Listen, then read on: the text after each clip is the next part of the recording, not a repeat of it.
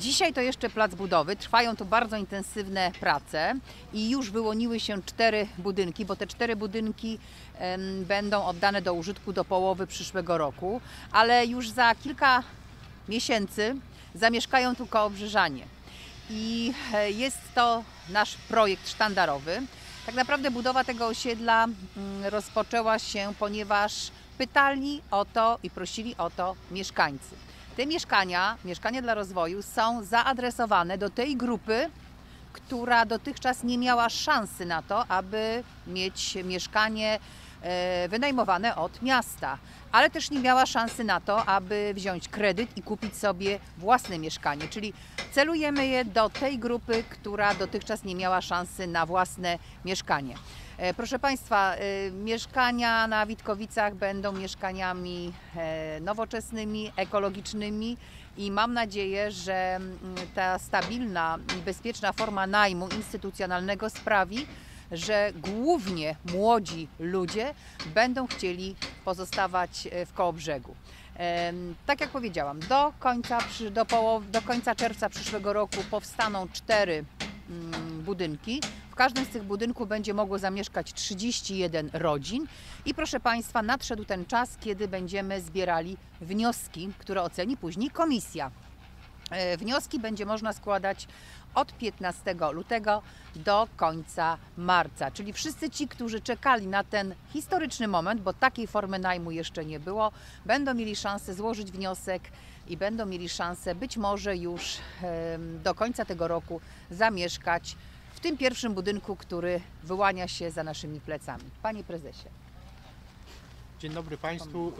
Proszę Państwa, jest mi bardzo miło, że firma, którą reprezentuję, Kołobrzeskie Towarzystwo Budownictwa Społecznego, może być y, małym trybikiem w realizacji tego sztandarowego, dużego projektu. Projektu, który ma znaczenie wielkie, zarówno społeczne, jak i gospodarcze. O znaczeniu społecznym tego projektu powiedziała już Pani y, Prezydent.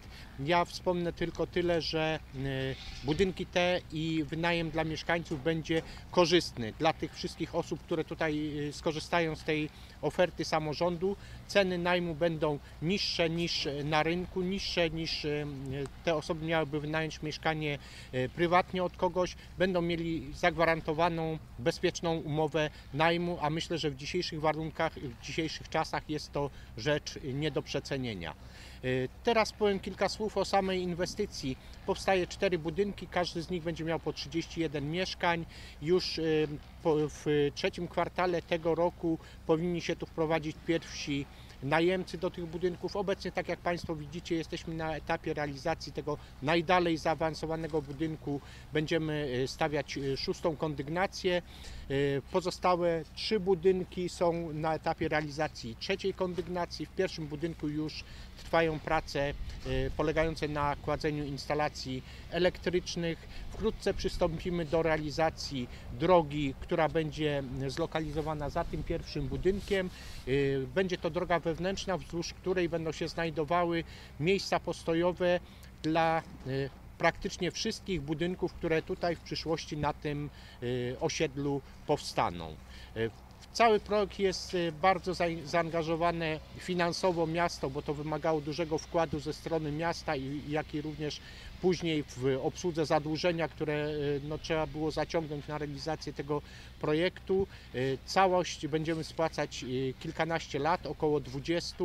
Y, Mam nadzieję, że wszyscy, którzy tu zamieszkają, będą zadowoleni z warunków, w których się tutaj będą znajdować budynki, będą oszczędne energetycznie, będą proelo- proekologiczne. Wkrótce powstanie przy realizacji drugiego etapu mały y, takie bo, powiedzmy boisko sportowe, rekreacyjne tam przy budynku czwartym i trzecim. Także myślę, że wszystkim się tu będzie dobrze zamieszkiwało i mieszkania te będą służyły zarówno i mieszkańcom, jak i kołobrzeskiemu samorządowi. Dziękuję bardzo.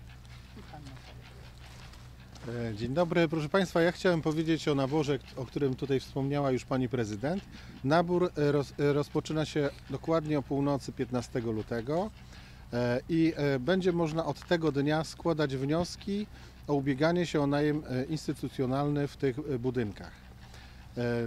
Istotne informacje, które będą dotyczyły tego naboru, jak również całej inwestycji, będzie można już również dzisiaj od północy przeczytać na specjalnie dedykowanej stronie internetowej dotyczącej i tej inwestycji, i m, samego procesu najmu. To jest strona witkowice.kolobrzeg.eu. Jak również bezpośrednio z tej strony będzie można przejść em, do złożenia wniosku. E, Gdyż e, w tym konkretnym przypadku nabór odbywa się wyłącznie drogą elektroniczną. Czyli wnioski będzie trzeba składać e, poprzez e, e, platformę ePUAP, trzeba mieć podpis elektroniczny. On jest tak skonstruowany, że będzie podpowiadał każdemu wnioskodawcy, w zależności od tego, które tam pola zaznaczy, co musi jeszcze dostarczyć.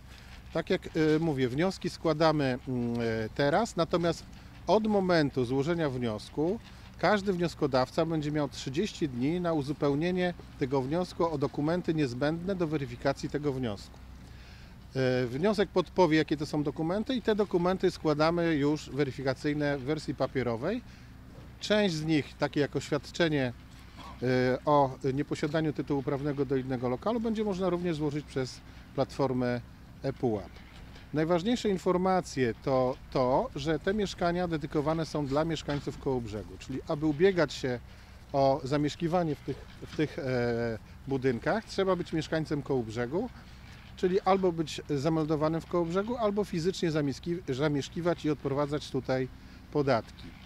E, oprócz tego mm, e, są uchwalone e, takie punkty jak gdyby dodatkowe, czyli kryteria pierwszeństwa tak zwane ma to na celu mm, promowanie, e, tak jak Pani Prezydent powiedziała, młodych. Najwięcej punktów tych dodatkowych jest e, dla za dzieci, dla e, rodzin młodych, ale również są punkty dedykowane dla seniorów.